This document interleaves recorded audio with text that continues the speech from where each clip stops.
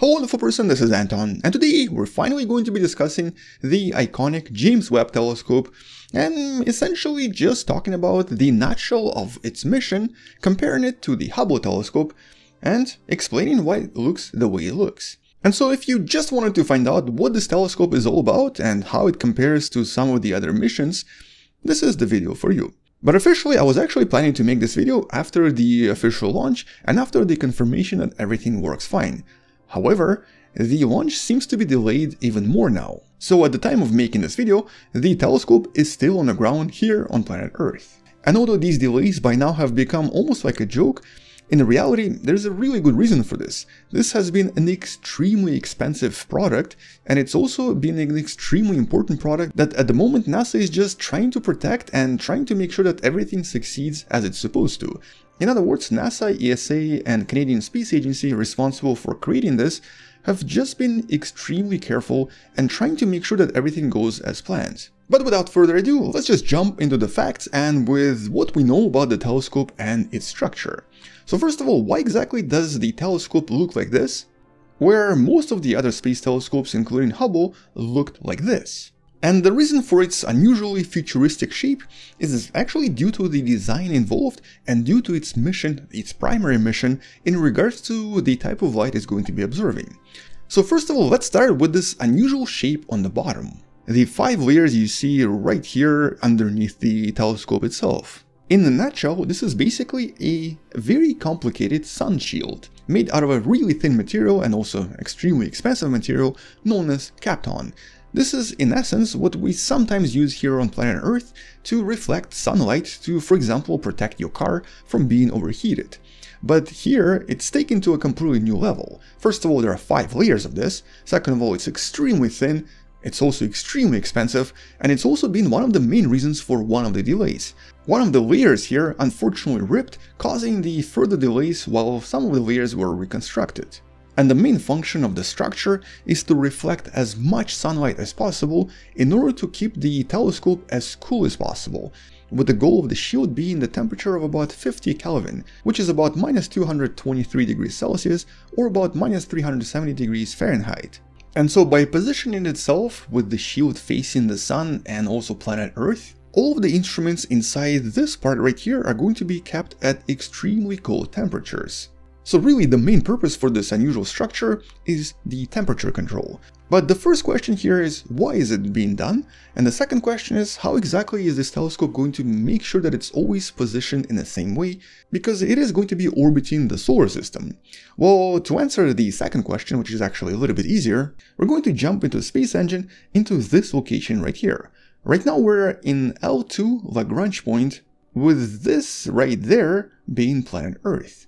And I actually have to zoom in quite a lot here for you to even see our planet. There it is. We're approximately 1.5 million kilometers away from Earth right now, and this point is a stable gravitational point known as Lagrange 2 that's formed by the interaction between the Sun and planet Earth. A lot of different telescopes have been placed there, and you can actually in theory place a telescope or any object there and it's going to stay in permanent orbit without falling into the sun or into planet Earth.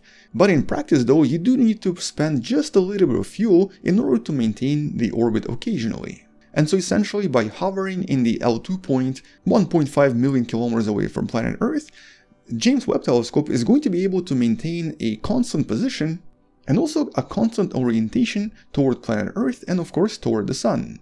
This way the temperature here is always going to be extremely low because of that sun shield. But why the low temperature? Well, that's actually the primary mission. The primary mission of this telescope is not to observe the optical light like the Hubble telescope, but to now start observing wavelengths that are very very difficult to observe from planet Earth and have only been partially observed by some of the other telescopes, including Hubble. And here we're talking about the wavelength that's right here. It's basically invisible to most telescopes on the planet because it's absorbed by the atmosphere, the infrared wavelength. And so unlike Hubble that observed near ultraviolet, visible and near infrared light, or roughly around 200 nanometers to approximately 2.4 microns of wavelength, James Webb Telescope is going to be much better at observing wavelengths of 600 nanometers to approximately 28 microns.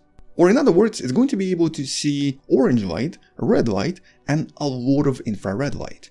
But not so much anything that's in blue light, nothing in ultraviolet, and nothing below 28 micron.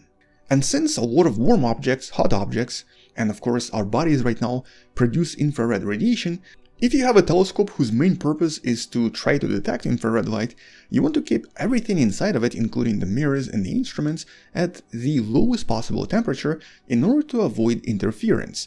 And so in a nutshell, the majority of the complexity for the design here is simply to observe the infrared light without any interference from either the sun or planet Earth that also produces some infrared light as well. And that's also the reason for this particular location in the solar system. And a lot of these wavelengths that are going to be assessed by the telescope have actually been extremely difficult to study even with Hubble. For example, the Hubble telescope used to have its own infrared detector as well. It was known as the Near Infrared Camera and Multi-Object Spectrometer, responsible for taking some of the most iconic infrared pictures in the solar system. But this device had to be actively cooled down in order to be able to observe infrared frequencies. This was done by using an extremely complex liquid system using an extremely sophisticated liquid gas loop that essentially evaporated with time, making the device kind of useless. It was later replaced by another device, the even more complicated Wide Field Camera 3, but even this is still very difficult to cool down in order to see the infrared radiation. But it's really because of these devices and because of the early observations in the infrared light that the scientists realized that they actually had to have an infrared telescope simply because of the discoveries made by both Hubble telescope and another infrared telescope known as Spitzer. This was the best infrared telescope NASA had for many years and it was retired, officially retired, in 2020. It functioned for over a decade and it actually produced incredible images and uncovered a lot of mysteries. Because of these discoveries, the scientists realized that the infrared observations would be the most important for future of astronomy. For example, a lot of distant objects, a lot of distant galaxies, and here we're talking about galaxies billions and billions of years old, are actually most visible in the infrared light because of the redshifting effects as the light travels away from those galaxies. The most distant galaxies to date, and here we're talking about the iconic GN-Z11, is essentially only really visible in the infrared light. And that's because all of the super highly energetic ultraviolet light and a lot of other light that's created in this galaxy due to the distance traveled eventually become infrared by the time they reach planet Earth. And so in order to study some of these mysteries of the ancient universe and to see even farther and deeper into the ancient space and to possibly uncover some of the even older galaxies, NASA realized that they needed a much better infrared telescope, and that's how the initial ideas for the James Webb were born back in the 90s. And although its initial budget was estimated at about $500 million, with the initial launch sometime in the early 2000s, eventually due to further delays, due to further complications, and a lot and a lot of problems, both in its development and of course some of the designs, the total cost now stands at nearly $10 billion, with the launch finally being, I guess, 2021. Hopefully, fingers crossed. I'm still making this, I guess, in the past from when the telescope hasn't launched yet, but it's already in a rocket and it seems to be fueled up and ready to go. Let's hope everything goes as planned. Anyway, back to the telescope and its unusual design. What about this mirror here? Well, as you can probably see, it's extremely large. And that's actually the reason for its unusual shape. Once again, unlike the Hubble telescope, whose mirror is just over 2.4 meters, or roughly around 7 feet 10 inches in size, the mirror on the James Webb telescope is actually much larger. And because of this, and also because we don't really have any other ways of delivering these massive telescopes to space, this mirror had to be designed with the ideas from the Japanese origami in mind. It had to fold up and it had to unfold in a very easy fashion. For this, the scientists decided to use hexagons that would actually fold up in just the right way in order to fit inside the rocket. Here's actually what all this looks like underneath the rocket's fairings, with the mirror itself as you can see folded in just the right way. But here's what the mirror is going to look like once unfolded, much bigger than the one on Hubble. It's about 6.5 meters across or approximately 21 feet and it's also made out of gold-plated beryllium with the material chosen specifically for those frequencies mentioned before. And in this case gold is used because it magnifies the infrared reflections and allows the telescope to capture way more infrared light than would be possible otherwise. But there are so many other infrared objects this telescope is going to be able to discover. A lot of rogue planets that we've mentioned in many other videos, a lot of brown dwarfs, a lot of objects that are otherwise hidden, possibly even seeing some of the reflections from actual planets around star systems, and also a lot of other radiation that usually passes through dust and is not really blocked by dust at all, but is invisible to a lot of other telescopes because they're just not sensitive enough. And even things like planetary disks usually produce mostly infrared light as well, so all of this is going to be visible to the telescope with detail that we've never had before. And so that's the basic facts. Now let's talk about some other additional details, specifically based on some of the questions I've been receiving in the last few months.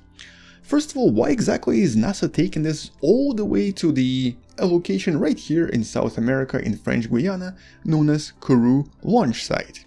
Well, the main reason for this is really twofold. First, because this is the European Space Agency's main launch location. And back in the days, ESA agreed to be the launching partner for this telescope in order to participate in all of this. But second of all, it's because it's very very close to the equator. And here it sort of helps to look at the map on Google Earth. This is where the telescope is launching from, with the only alternative that NASA would have would be somewhere right here in Florida.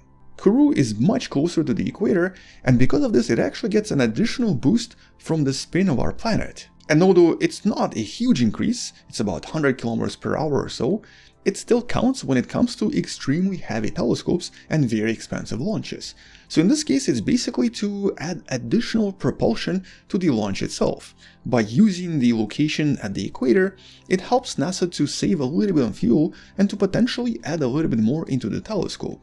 And because the telescope is also going to have a relatively complex orbital path, that's going to take approximately 30 days before it becomes fully operational, NASA decided to take the safest route when it comes to launches. They chose the safest rocket available for heavy launches, which was the ESA's Ariane 5 rocket, and they also chose the site that would allow them to have the safest possible launch profile, with the overall orbital path resembling something like this. This is the top view here, and this is what the telescope is going to be doing for many years to come.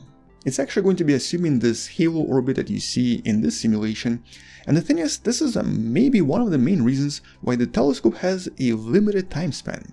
Its current mission is set to be in about 10 years long, and that's not because it's going to become old or possibly become destroyed by something, it's actually because it's going to run out of fuel to support its orbit.